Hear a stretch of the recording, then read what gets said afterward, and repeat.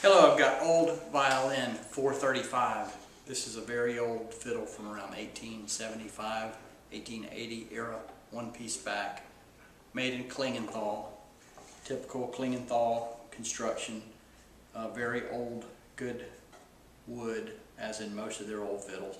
I believe that this fiddle is possibly something um, like a, a glass violin or the glass family. It's an oldie goldie, very good tight grain wood on the top. Has had some repairs. I put a lot of time and effort into this one, bringing this one back to life. Um, I did put a new bass bar in it and cleaned up the inside and made really good repairs to some of the cracks that were on top. But really old fiddle, has a good look, good player, flat arching, dark tone in this old fiddle. Helicore medium tension strings.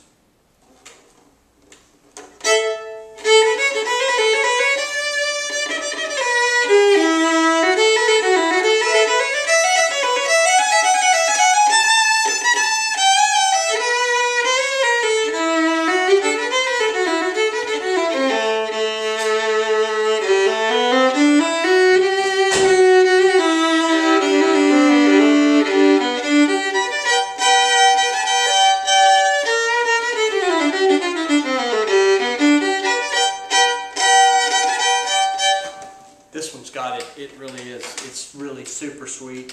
It is dark, but it's got that, just the right amount of juice um, that it's not boxy at all. It's dark but sweet.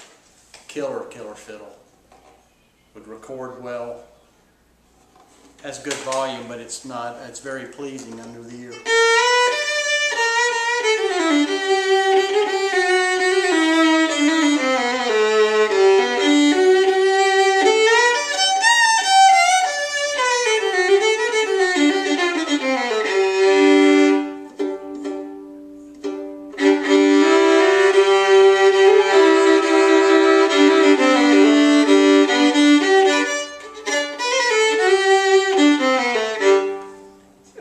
The fiddle length, the length of the back is 13 and 15 sixteenths inches. Um, a lot of your Klingenthal fiddles were smaller, a little, you know, not small, but they didn't get big like some of the German, the other German instruments. Four thirty-four. This one's got some special sauce to it too.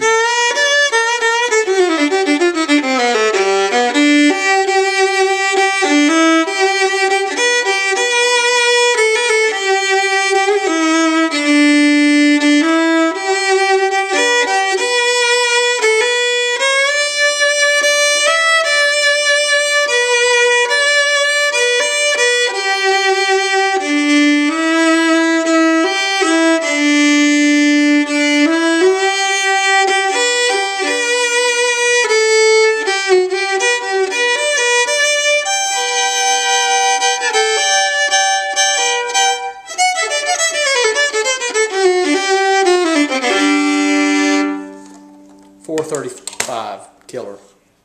Four, three, five. Thank you.